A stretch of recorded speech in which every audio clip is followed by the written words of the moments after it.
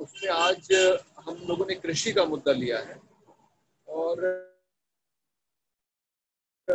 इस समय पंजाब और हरियाणा में खास करके किसान आंदोलनरत हैं। और देश भर में किसान किसानों में असंतोष है क्योंकि सरकार ऐसे है जो किसान विरोधी है। और ये सिर्फ़ इसी बात से पता लगता है जिस जिस तरीके से राज्यसभा में उपसभापति हरि हरिवंश जी ने उस पे मत विभाजन किए।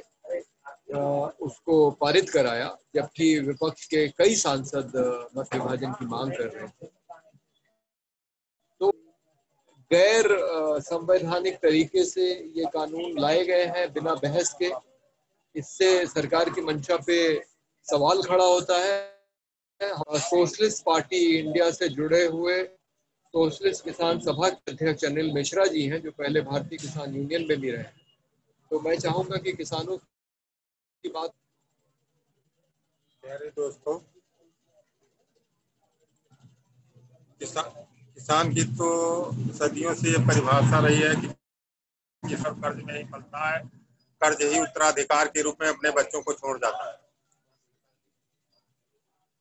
और ऐसी हालत किसानों के विरोध में जो ये कानून आए हैं, तीन कानून, एक तो न्यूनतम समर्थन मूल्य जो पूर्व की सरकारें देती रही, जिसमें न्यूनतम वो अधिकतम कीमत थी, और उस कीमत पर आज भी बाज़ार में उतने रेट नहीं जाते, और इसका हटाना किसान के लिए बहुत दुखद बात है।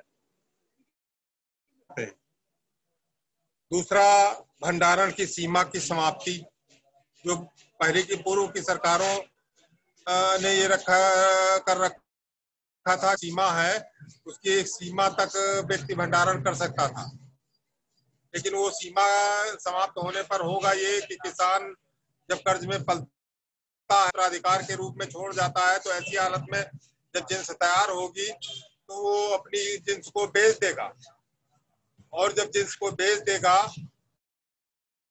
के हाथ में जाने पर वो मनमाने रेट पर उसको खरीदने के लिए बाध्य करेगा और वो जो भंडारण की सीमा समाप्त हुई है, उससे जैसा कि आज हो रहा है, पीछे दस रुपए था और आज प्याज की कीमत हमें लगता है पचास रुपए किलो के लगभग आ गई है। और ऐसी स्थिति में ये भंडारण की सीमा समाप्त करना लागू होती है और होगा ये कि इससे किसान मर जाएगा। तो हम इस दूसरे, दूसरा कानून जो इन्होंने बनाया है, इसका भी विरोध करते हैं। और तीसरा जो ये भी बहुत दुखित, दुखद बात है, क्योंकि छोटी जोत का किसान है, लघु और सीमांत, अधिकतर संख्या में किसान है, और उस किसान को पर काम कराना, ये सरकार की नीति जो पैदा कर रही है, ये तो पूंजीवाद को बढ़ावा दे रही है, और गरीब गरीब किसान देश का मर जाएगा। उनका भी जो सरकार लेकर आई है इसका हम विरोध करते हैं। इस विरोध को लेकर आज हम माननीय संदीप पांडे जी के मार्गदर्शन में जो जो राष्ट्रीय अध्यक्ष है उनके मार्गदर्शन में आज हम इनके धरने में अनशन के बीच में शामिल हैं और सदैव हम दुख की बात है। कि किसान के साथ ये नाइंसाफी भारतीय जनता पार्टी सरकार जिसके बाद इतने पूर्ण बहुमत पर किसान के हित के कानून बनाएगी, ये न करना, ये तो बहुत शर्मनाक बात है। और आगे दौर में हम को अपने जनपद उन्नाव में जिलाधिकारी कार्यालय के समीप झाड़ी बाबा मजार पर इस कानून की बिल को अपने हाथ से आग लगाकर फूकेंगे और हम विरोध करेंगे। ये शब्दों के साथ पार्टी विराम चाहते हैं। धन्यवाद। तो आपने अनिल जी की बातों को सुना। इस देश का किसान पहले से ही कर्ज के बोझ में दबा हुआ है। और कारण ये है कि खेती का स्वरूप धीरे धीरे बदला है। अब खेती में लगने वाला बीज से लेके खाद, कीटनाशक, अब सबका पैसा उसको देना पड़ता है। और लागत दिन प्रतिदिन महँगी होती जा रही है। एम एस स्वामीनाथन समिति की सिफारिश के मुताबिक उसकी लागत का, उसको मूल्य अपने उत्पाद का मिलना चाहिए था, वो नहीं मिल रहा है। भाजपा की सरकार कहती है कि वो डेढ़ गुना वो किसान को देती है लेकिन असल में जिस तरह से वो आ, वो तय करती है मूल्य वो आ, किसान के लिए लाभकारी नहीं। और दूसरा ये है कि बैंकों से जो ऋण की व्यवस्था है जो अनिल जी ने बताई नहीं विस्तार से किसान के ऊपर तमाम तरह बोझ लाद दिया जाता है। मैं चाहूँगा अनिल भाई थोड़ा सा जो ऋण लेने की प्रक्रिया है जी जी। उसमें क्या क्या किस तरह से किसान को फंसाते हैं? जैसे बिना आपसे समस्या ये है। पैसा काट जी जी जी। वो सारी बातें बीमा के दो प्रकार होते हैं। एक तो होता है जो फ़सल बीमा करते हैं। फ़सल बीमा में लोग की ब्लॉक स्तर पर अगर नुकसान हो तो बीमा मिलेगा नहीं नहीं मिलेगा। ज़मीन का जो धरातल है वो ऊँचा नीचा है देश का। हमारे हमें लगा है यहाँ भी एक ऐसी परिस्थिति है कि नीचे तराई का क्षेत्र है और ऊपर जो ऊंचाई पर है वो फल फल पट्टी साबित का क्षेत्र होता है। उसमें जब जल भराव हो जाता है, फ़सलें नष्ट हो जाती हैं और ऊपर का किसान बचता है। तो ऐसी परिस्थिति में वो कहते हैं कि संपूर्ण जब नुकसान इस गवर्नमेंट ने जो गाँव स्तर पर किया था अब ये कह रहे हैं हमें। जब हम इनसे पूछते हैं तीसरे बुधवार को किसान दिवस में तो ये कह रहे हैं कि जो गाँव स्तर पर पूरे नुकसान होगा तो बीमा दिया जाएगा। तमाम कंपनियाँ आई, बीमा अपने आप काट लिया जाता है और किसान को पता ही नहीं चलता कर्ज लेने के टाइम पर, चाहे वो खाद खरीदे, चाहे बीज खरीदे, बीमा ले लिया जाता है। और या नगद पैसा ले, उसमें भी बीमा काट लिया जाता है। और स्थिति यह है, पीछे मेरी फ़सल नुकसान हुई और मेरा धान चला गया। मैंने उसकी लिखा पढ़ी भी की लेकिन बीमा नहीं मिला।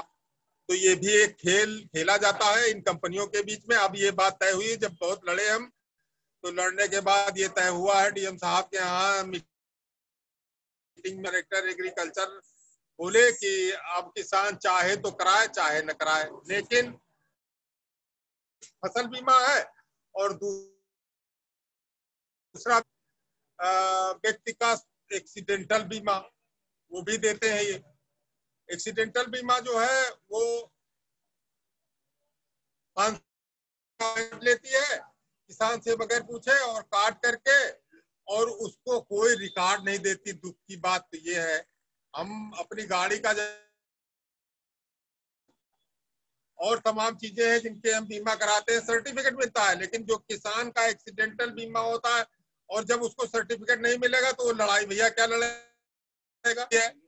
तो इस हालात में हम चाहते हैं कि सरकार इस पर ध्यान दे और इसमें सुधार हो और दूसरी चीज़ ये है कि बैंक के लोग जिसमें हमें बैंक के लोग जो बगैर किसान को पूछे तमाम जैसे इनवल रेट जैसे जैसी चीज़ें अपने आप लगा देते हैं, वो उनको अलग से देना होता है और एक समस्या है कि चार परसेंट तक तो एक साल के अंदर जो पैसा अदा करे तो उसको देते हैं, जबकि लोन पाँच साल के लिए जो क्रेडिट कार्ड वो पाँच साल के लिए लोन होता है। तो जब पाँच साल के लिए लोन होता है तो पाँच साल के बीच में अगर वो लोन अदा करे तो उसको चार परसेंट पड़ना चाहिए। लेकिन वो ना करके साढ़े दस परसेंट से लेकर चौबीस परसेंट तक किसान को अदा हो करना होता है, और वो भरा हुआ आता है। बहुत से किसानों ने इसी मुद्दे को लेकर के फांसी लगाई है, जो पूरा देश जानता है। भारत के नेता भी जानते हैं, हम सब जानते हैं। और लगातार आगे भी मौका नहीं है। बेटी की पढ़ाई नहीं है, बच्चों की शिक्षा है, नहीं है, घर है, न वस्त्र है।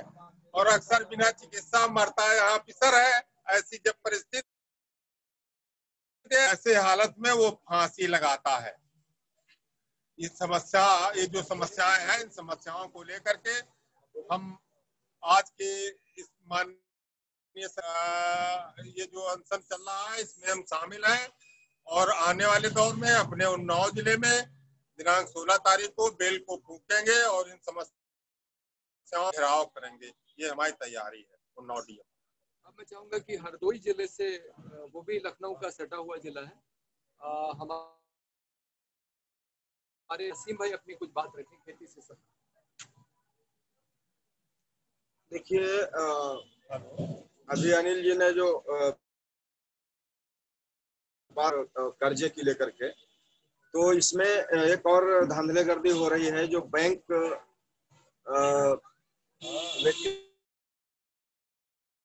क्रेडिट कार्ड वगैरह जो खुलवाते हैं, उसमें एक अटल पेंशन योजना के नाम से लोगों को जो है बेवकूफ़ बनाया जा रहा है। हमारे यहाँ अभी ऐसा गुन्नी का मामला आया, दो तीन मामले सामने आए हैं इसमें काश्तकार एक तो अपने ऋण से परेशान है और दूसरा उसमें पैसा कट रहा है, जो कि महीने में ढाई सौ, पौने तीन सौ रुपए जो हर महीने कट रहे हैं। जब हमने लोगों से मालूम किया कि ये भाई आपका, ये तो पैसा जा रहा है तो उन लोगों ने बताया कि हमारा से किसी से कुछ नहीं कहा है और ये बैंक ने स्वयं लगा दिया है। और बैंक वाले इस बात है कि हमने लगाया उन्होंने बैंक वालों ने ये कहा कि भाई घर का किसी व्यक्ति जो है किसी ने कहा होगा कि लगा दो जब खाता धारक खुद नहीं कह रहा है आ रहा है तो दूसरा अटल पेंशन योजना का आ, मामला इसमें आता ही नहीं है लेकिन ये बैंक की धांधले गर्दी चल रही है। और हमें लगता है कि सरकार को इस बार भारतीय नहीं चाह रहा है कि हम, हमें ये चीज़ मिले और फिर भी जो है जबरिया उसको दिया जा रहा है। तो एक हिसाब से किसानों के साथ घोर अन्याय किया, इस मामले पे सरकार को विशेष ध्यान देना चाहिए। बस इतनी बात अपनी रखते हुए अपनी बात खत्म करता हूँ। अंत में मैं के सामने जो समस्या है वो तो है ही है, लेकिन अगर किसान से न्यूनतम समर्थन मूल्य पे जो खरीद की व्यवस्था है मंडियों में अगर वो खत्म वो किसान का अनाज खाद्य भारतीय खाद्य निगम के गोदामों पे नहीं पहुंचेगा। और अगर भारतीय खाद्य निगम के गोदामों में अनाज नहीं रहेगा तो सरकार राशन व्यवस्था में अनाज कहाँ से देगी लोग? और फिर यही होगा कि अनाज के बदले में आप कुछ पैसा ले लीजिए जिसको कैश ट्रांसफ़र कहते हैं और ये तो पैसा आएगा तो कोई ज़रूरी नहीं है कि उससे घर में अनाज ही आए। पिछली सरकार ने बहुत समझ बूझ के खाद्य सुरक्षा अधिनियम लागू महिला को राशन कार्ड का प्रमुख व्यक्ति बनाया गया था और वो इसलिए था कि अनाज महिला के हाथ में जाए ताकि वो पूरे परिवार के जब बैंक में पैसा आएगा, भले ही महिला के खाते में आए, लेकिन निकालेगा तो पुरुष तो वो पैसा बैंक से घर पहुंचेगा कि नहीं, इसकी कोई गारंटी नहीं है। और उससे भी कोई गारंटी नहीं है। हो सकता है परिवार में कोई बीमार पड़ा हो, इसके इलाज में वो पैसा खर्च हो सकता है, बच्चे की फ़ीस देने में खर्च हो सकता है। तो जो खाद्य सुरक्षा तहत सार्वजनिक वितरण प्रणाली के तहत जो अभी तक थी, वो ये सरकार लोगों से छीन रही है। तो किसानों को तो धोखा दे ही रही है। खेती हर मजदूरों और साथ ही साथ इस देश की आम जनता पचहत्तर प्रतिशत ग्रामीण इलाके में और 50 प्रतिशत शहरी इलाके में जिनके पास राशन कार्ड है, जो सारे आते हैं, ये उनके साथ भी धोखा है। तो हम में इतनी ही बात ये किसानी के संबंध में आज कहेंगे। बहुत बहुत शुक्रिया।